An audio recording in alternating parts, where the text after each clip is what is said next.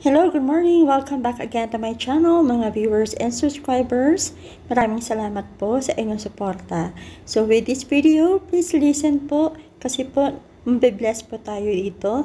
At uh, let us listen sa inspirational message po ni Pastor Sean from Royal Ambassador.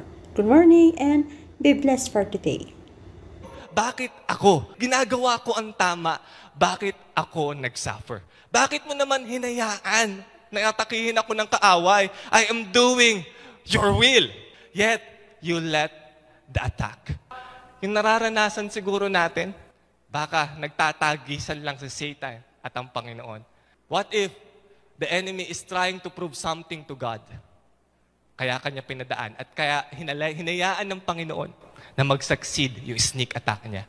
Kasi meron siyang gustong i-prove. Prove to the devil that what he is saying about you is not true. Let not the devil have the final say. But let it be said to him, Devil, even though you put, you put my business down, you put it on bankrupt, I will still praise the Lord. Devil, tinanggal mo ako sa trabaho na wala akong trabaho, na wala na akong pagkakakitaan. But devil, let me prove to you, even though I lost my job, I will still trust my Lord who will provide for me. The Lord is telling you today, hindi pwedeng matapos yan sa panalo ng kaaway because the Lord has already given you the victory. He who is in you is greater than he that is in the world. Dahil prinases mo ng tama ang pain mo, you turn your pain of injury into a pain of recovery. And now, you shall recover all. Pa ba kailangan gawin ng Panginoon para maniwala ka sa Kanya? Na-sharean mo na, pinagpe-pray mo naman. Ba't kaya merong mga taong ganun na okay naman eh, maganda naman yung pagkaturo, maganda naman yung pagka-share mo, maganda naman pakikisama mo. Yinugyug na lahat ng Panginoon na pwedeng iyugyug sa Kanya, ayaw pa rin niyang maniwala.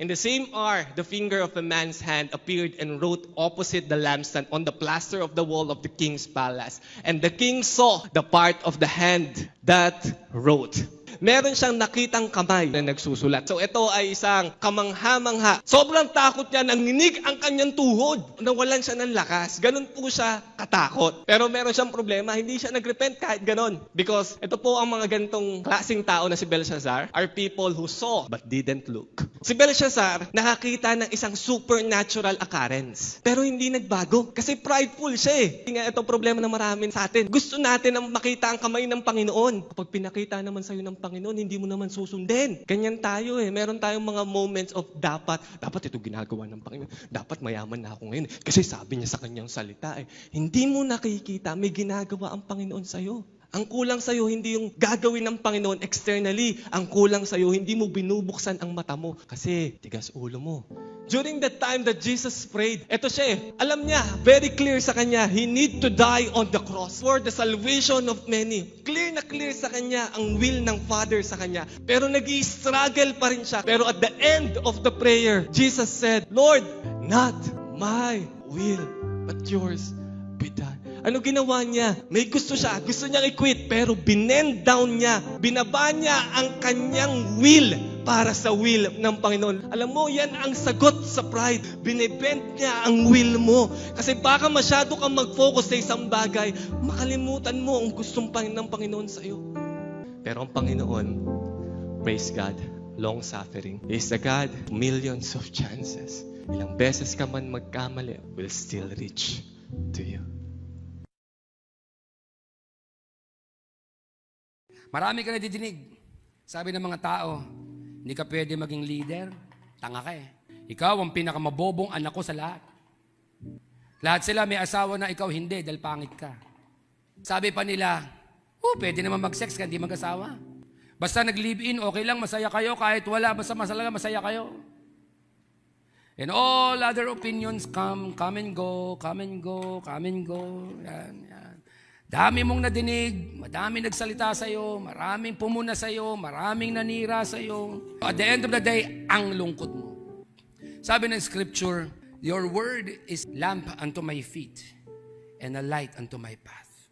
Ano ibig sabihin? Kung nasa dilim ka at wala kang liwanag, kawawa ka, pero hindi yung kanyang salita, yung lamang tanging magtatama ng lahat. The Word of God is just like this. Pag wala kang Word of God, all you have, meron ka opinion, kasalanan, kamalian. You can fall anytime. Only by the grace and the Word of God that you can stand. Pag nilagay mo yung Word of God sa buhay mo, di ba? Nilagay mo dyan, di ba? Pag nilagay mo yan,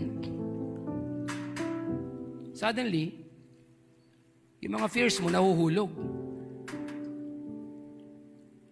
Suddenly, yung mga opinion nila nawawala. Because the Word of God, the Bible says, cleanse us from all unrighteousness.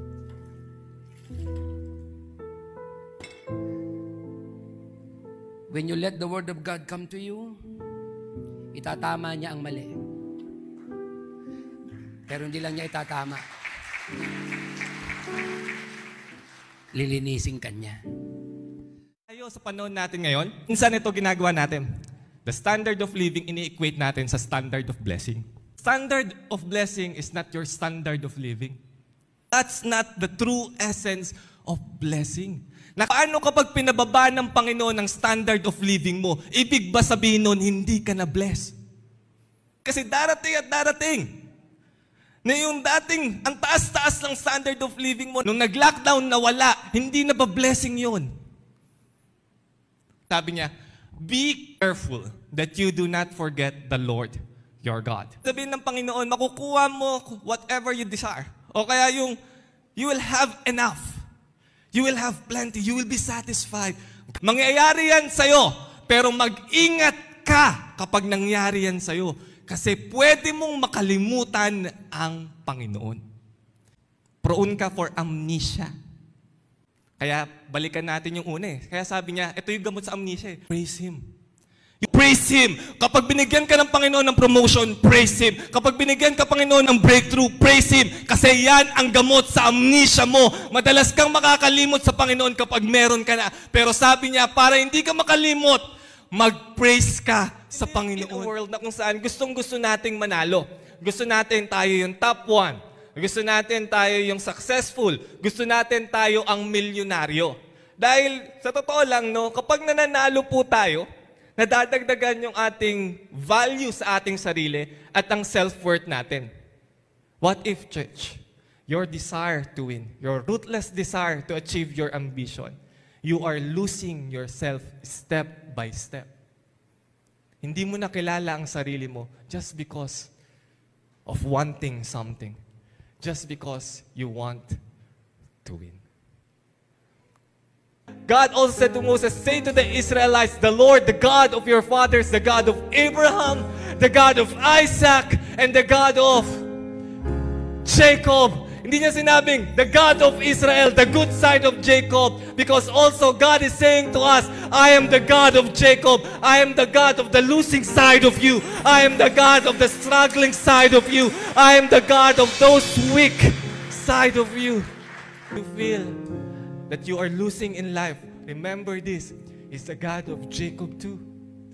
He's the God of losers too. He's the God of those who cannot figure out how to get out of a problem. is also that God. God can only bless the real you, not the one you pretend to be. Not the fallback guy.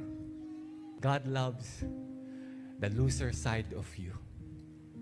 God loves the side of you, the hurting side of you. God loves that. And He could bless you with that real self. When you are down to nothing, God wants to reveal to you great things. Ang will ng Panginoon sa buhay natin. He wants you to have this all. Good health, abundant life, perfect peace. Etong tatlo na to and all the will of God, it sums up to one thing. God wants you to be in control. Na yung hindi yung aanga-anga kapag wala kang pera. He wants you to have abundant life. He wants you to take charge of your finances. Kaya sabi ng Panginoon, tinuturuan kitang mag-pray kasi gusto ko masolve lahat ng problema mo. So God is telling you, I want my will to be done in your life every day of your life. But you need pray. Let my will be done. Anong will ng Panginoon sa atin? You will be in control. Hindi ang bills mo ang may control sa'yo, ang Facebook mo, ang kaibigan mo, at kung sino pa man ang may control sa'yo. God wants you to be in control of your life. Yun ang will niya. Kaya sabi niya, ito ang ipanalangin mo araw-araw. Your kingdom come, your will be done on earth as it is in heaven. Yung tipong mag-uutos siya, hindi ikaw ang makikinabang. Iba ang makikinabang. Yun ang mahirap sundin. Piro mo, utusan ka ng Panginoon, anak, bigay mo yung pera mo doon, ha? Lord, lahat. Lord, may renta ako mamaya, ha? Alam mo yun? Lord, wala akong mapapala dyan. Bibigay mo? Magda-doubt ka eh. Kapag may mga undesirable na utos ang Panginoon, Nak, patawarin mo. Lord, sakit ng ginawa eh. Lord, masakit pa rin hanggang ngayon. Tapos, siya, siya may kasalanan eh. Ako, ako, ako mauuna. A- a- a- a- ako yung mag-approach. Lord, it's not undesirable. Eh madalas pa naman, ang Panginoon, sabihin na natin mapagbiro, ang mga utos niya, undesirable.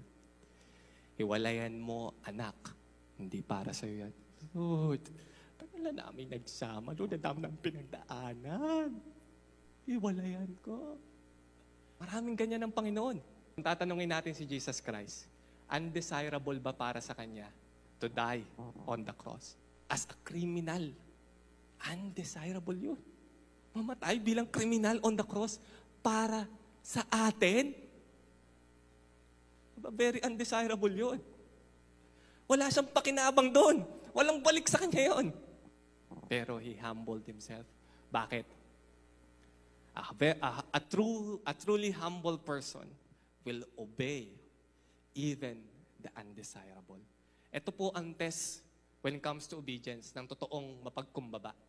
Ang totoong mapagkumbaba kahit undesirable. Alam natin, kailangan ko munang ayusin yung lahat ng discouragement, lahat ng insecurity ko sa buhay para mas lalong lumalim ang aking pananampalataya. Hindi po, sabay mo po siyang gagawin. You build your faith while battling insecurities. Hindi dapat mahinto ang pinapagawa sa iyo ng Panginoon dahil lang may kinakaharap kang struggle ngayon. Merong mga nangyayari that requires your attention sa palagay mo. Pero hindi ibig sabihin nun, kailangan mong ihinto ang ginagawa ng Panginoon sa iyo. Kung ang will mo, will ng Panginoon, sinasabi ko sa iyo, God will open up doors for you. God will open up ways for you. God will make a highway from sis. That's how God does it. Mukhang imposible sa iyong paningin. Pero dahil alam mo, will ng Panginoon, then God will make a way when there seems to be no way. Ayan po mga um, mga kapatid, hope na na-bless po kayo sa video na to and mag-iingat po kayo lagi. Don't forget to like and share.